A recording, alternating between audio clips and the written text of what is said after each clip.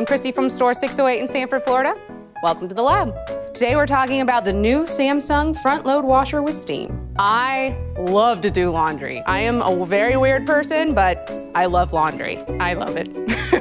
with this guy, you've got steam, which is gonna give you that extra edge to really clean your clothes. Normally, if you have heavily stained clothes or clothes that might be a little extra stinky, you have to pre-treat it, and that's just extra chemicals on your clothes and things that can really wear down the fabric. You can either stack these like this, or you can have them side by side. So no matter what your setup is in your home, you can customize it to fit your needs. What's also really neat is that this washer has a self-cleaning function. Can definitely get on board with a washer that cleans itself. Less that I have to do.